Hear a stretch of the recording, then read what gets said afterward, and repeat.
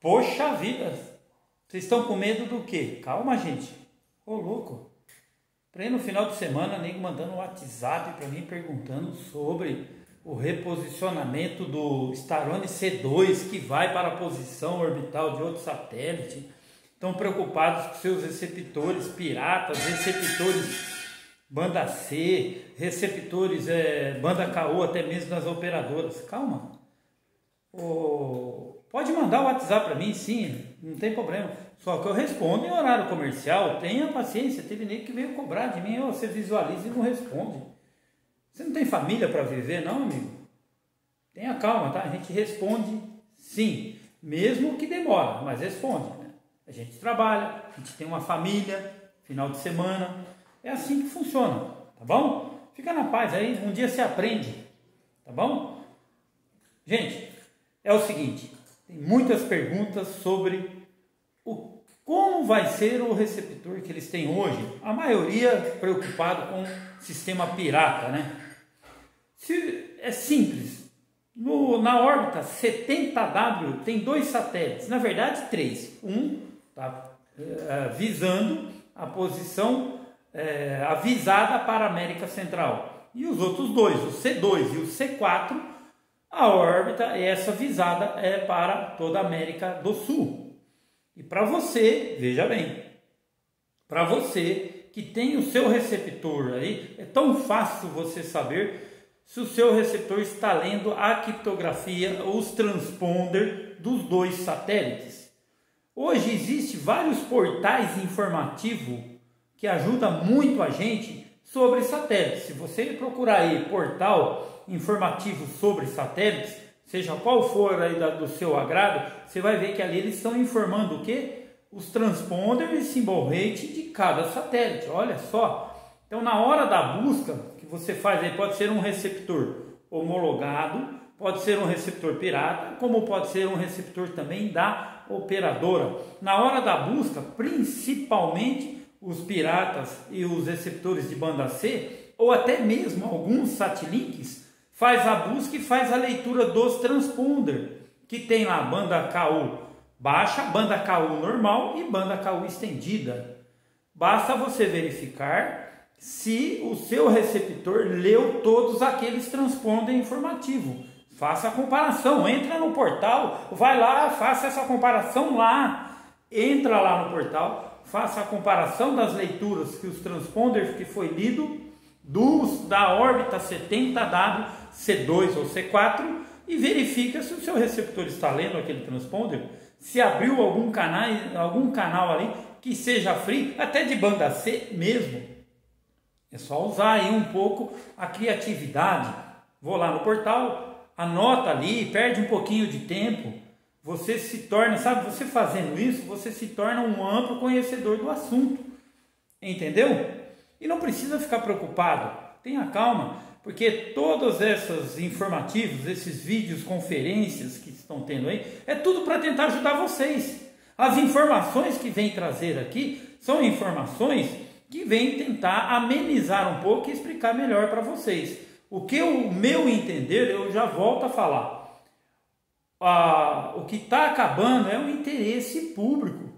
Gente, o ser humano hoje não tem tanto mais interesse em assistir TV. São poucos que hoje é uma minoria, porque a maioria hoje faz usufruto de canais abertos ou canais fechados pela internet. Uma maioria ainda está ali. A gente sabe, eu estou cansado de falar que aonde lugares remotos a internet ainda não chegou, é esse público aí que está assistindo TV. Entendeu? É para esse público que a parabólica vai continuar em banda KU aberto. Ah, mas o satélite vai mudar, vai sair do 70W, C2 vai para o 65W. Gente, Tenha calma, vai continuar ali a transmissão. A vida útil do C2 é 15 anos, vai até abril de 2023. Pode ser que prorrogue, pode ser que os caras lá, criativo, pumba, vão prorrogar essa data e continua aí aí. Você vai continuar tendo sinal. Vai precisar virar antena? Sim, vai precisar virar antena para quem quiser continuar tendo os canais que ali oferece. E se o D2 conseguir juntamente com um órgão que está regulamentando isso daí, ter os canais abertos ali. Você não vai precisar mexer na, na sua antena. Entendeu? Você vai precisar apenas migrar da banda C para a banda KU. Porque tudo que eu percebi nessas videoconferências é tudo interesse comercial, gente. Por que interesse comercial? Porque eles estão com medo de ficar sem essa fatia do bolo. Para para pensar, o órgão que está regulamentando isso aí citou o nome de um outro satélite que eles não fazem parte, mas não foi confirmado apenas citou que há um interesse de ir para tal satélite. Ali já preocupou todo mundo que não faz parte da onde estão visando esse satélite. Então eles estão trazendo as soluções. Eles vêm aqui, ó, que nem a própria empresa que vai subir com o D2 já ofereceu para o órgão administrativo sobre o assunto da migração que ali é possível ter os canais em banda KU abertos de graça. Entenderam?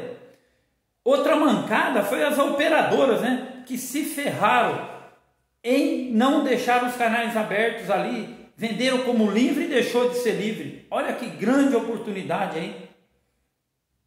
A própria operadora hoje, que não é competente contra a pirataria, né? Você que está pagando está sustentando os outros e os outros que não está pagando está de carona em cima do seu. Você é um cavalão carregando eles.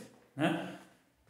Pode, pode ser que ali nessa operadora, nessa operadora, continue os canais abertos, que é a solução que eles estão tentando mostrar para o órgão administrativo sobre o assunto. Como outros assuntos ali foi abordado com outras empresas para mostrar que existe solução. Eles não querem perder a fatia desse bolo. E quem perdeu com isso foi as próprias operadoras em ter, pumba, cortado livre. Tá certo que alguns informou, outros não informou, e assim é uma história que vai longe, sabe?